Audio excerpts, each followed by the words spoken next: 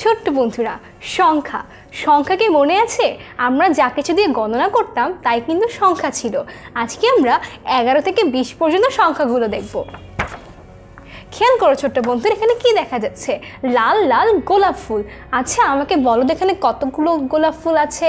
দেখো, এইখানে প্রথমে আছে দশটি গোলাপ ফুল, তারপর আছে আরও একটি গোলাপ ফুল এবং যখন দশের পরে আরও এক চলে আসে, তখন আমরা এই সংখ্যাটিকে বলি এগারো। এরপর দেখো ছোট্ট বন্ধুরা, কাঁচা আম। কাঁচা আম তো আমাদের সবারই প্রিয়। এখানে কয়টি কাঁচা আম আছে? প্রথম সারিতে দেখো, মোট দশটি কাঁচা আম, এরপরে আরও দুইটি কাঁচা আম। দশের পরে যখন আরও দুই চলে আসে, একে আমরা বলি বারো। এরপর দেখো ছোট্ট বন্ধুরা, কি আছে? প্রজাপতি, নীল রঙের প্রজাপতি।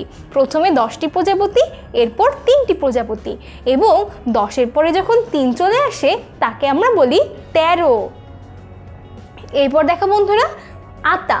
আতা একটি দেশি ফল এবং উপরের সারিতে মোট দশটি আতা আছে, নিচের সারিতে আরও চারটি আতা আছে এবং দশের সাথে যখন চার চলে আসে, একে বলা হয় চোদ্দ।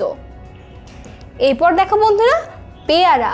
প্রথমে আছে দশটি, আরও যুক্ত হয় পাঁচটি এবং দশের সাথে আরও পাঁচ চলে আসলে তাকে বলা হয় পনেরো।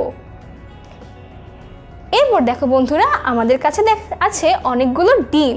আমরা বুঝতে পারছি যে আগের মতোই প্রথম সারিতে আছে দশটি, নিচের সারিতে আছে আরও ছয়টি। অর্থাৎ দশের পরে ছয় আসলে তাকে বলা হবে ষোলো। এরপর দেখো বন্ধুরা, সূর্যমুখী ফুল।